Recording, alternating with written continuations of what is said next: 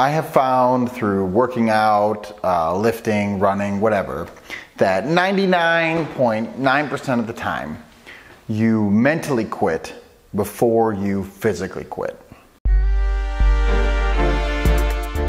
Hello, everyone. Dylan Schumacher, Citadel Defense, and we are back to talk about Minuteman teams and specifically organizing a uh, team challenge. I'm just going to call it that because I don't know what else to call it event uh, for your team. So I've been thinking about this a lot uh, past, I don't know, a month or two or whatever, but when you think about special forces units, right? The SEALs, the Army Special Forces, the Marine Recon, whatever, you pick your poison, okay? The British SAS. What separates those units from just everyday grunt ground infantry guys? Like, what is it? What really separates them? And you could say, oh, you know, I mean, it's all the fancy toys, right? They get all the cool gear and the quads and the you know, the stuff and the submarine insertions, and they can jump out airplanes, and they, they have all the cool toys. You could say that. You could say they have all the specialized training, right? Like they're all trained as medics and radio operators, and they're able to network better because they have people skill training, and you know, whatever. Like you could say they have all this specialized training. But at the end of the day, really, what I would argue it comes down to is those people do not quit when everyone else does. They have trained themselves, they have been selected to be people who never quit. They just don't quit, they just keep going. They will not quit, right? That's why they have uh, seals, you know, sit in the surf for hours in like the 50 degree bay in San Francisco or whatever uh, to, to weed out the quitters. Who's gonna quit and who's not gonna quit? Who's gonna go well beyond what they could ever imagine doing. That's why they have these like selections, these final selection tasks of like rucking 40 miles with like a 60 pound pack. They go through these ridiculous, inhuman rucks, not because they want you to be physically fit enough to do that, because it really doesn't matter how physically fit you are. At some point, you're, you're going to be in pain, right? Being fit helps. Uh, but because they want to know who's going to quit and who's not going to quit. That's what they want to know. We need people who are never gonna quit ever. When all hope is lost and when we're all gonna die here, it doesn't matter. You're not gonna quit, you're gonna keep going. So, thinking about that principle. Now, eh, I'm not a full time military guy. You're probably not a full time military guy. We can't devote hours and days and weeks and months of just, you know, full time training all the time. We, we can't do that, right? We have normal lives, normal jobs.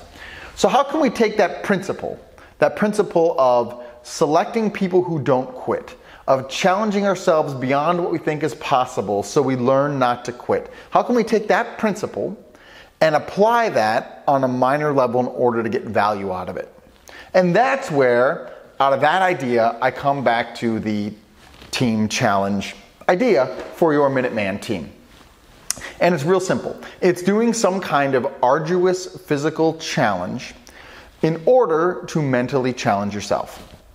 It's that simple. To see who's going to quit and who's not going to quit. To see when you're going to quit and where you need to go beyond, right?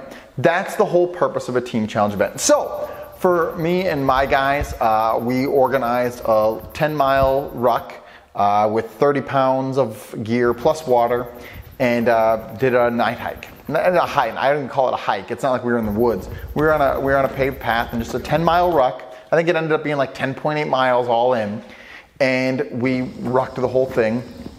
Started uh, just before the sunset and, and kept going until we completed it. And for me and my team, that was our that was our challenge. Now, some of you might look at that and say 10 miles, 30 pounds. I mean, come back to me when you're really doing rucking, Dylan. And okay, I mean, yeah, you know, whatever. But for me and my crew and how much rucking we normally do, that for us, that was a challenge, right? That was beyond the scope of what we normally do. Uh, so we spend more, most of our time out in the woods, you know, doing the shooting and the, and the moving around and the patrolling, whatever. But to just have like a 10 mile pure ruck in order to figure out where our mental stop point is was very helpful. We all made it, it was good. Uh, next time I'd like to go further, I think, to again, I want to find that point. For me personally, at about mile, I don't know, eight, mile nine, somewhere in there, I got to the point where I was mentally like, okay, I'm ready to be done. I no longer want to be here. It is now work in order to complete this, right? And I had some blisters for a couple days.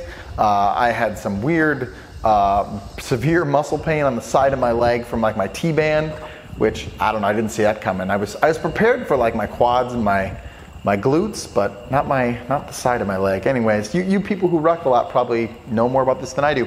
Point being is that we decided to do something that was physically challenging in order to get a mental challenge out of it, right? In order, I want to see on my team who's going to be uncomfortable, who's going to complain, who's going to quit, who's going to start, you know, whining about how we shouldn't be here and this is a terrible idea. Who's going to show up? Like these are the things I want to start finding out now, rather than you know once China invades or whatever. When you look at like uh, Navy SEAL training, for instance, I remember as a kid I read this thing about how uh, Navy SEAL training is 90% mental and 10% physical. And if you look at like what they actually do in BUD/S, you can be like, oh, that doesn't make any sense because it's ridiculous, like four mile uh, beach runs and a couple mile ocean swims. And at one point they do like a 16 mile um, run, and you know they have Hell Week where they're basically awake for five days in a row, and you know all this stuff. And you could look at that and say, well, that's extremely physically challenging. And yes, it is. However, the people who designed that understood something, right? They understood that you mentally quit before you physically quit. And so we are going to push things to physical insanity extremes in order to find those people who mentally just give up who just can't can't do it anymore because it's not as much about how much in shape you are although hey that's a baseline you have to be in shape in order to accomplish those things it's really about who is going to be mentally prepared to make it right who's not gonna quit. And so, with that principle in mind, the, the principle of we want to train ourselves to not mentally quit. I suggest that you would do a team challenge with your your guys, right? Whatever that is. It could just be you and your buddy, could be you and a couple guys, but organize for yourself some kind of team challenge. It could be something as simple as a ruck, which is what we did. Maybe for you it's different, right? But find something that's going to be physically exhausting and challenging and hard and have your team do it together. One, again, find out who's going to quit, who's not going to quit, find out where your quit point is. Two, uh, it's just a team building experience, right? It helps you function as a team under some mental and physical stress, which is always going to be good to be able to function better with, um, as a team under mental and physical stress. So that would be my. Uh, idea to you. Let me know how it goes. Let me know if you have any other brilliant uh, team challenge ideas because, you know, I'm always open to new team challenge ideas.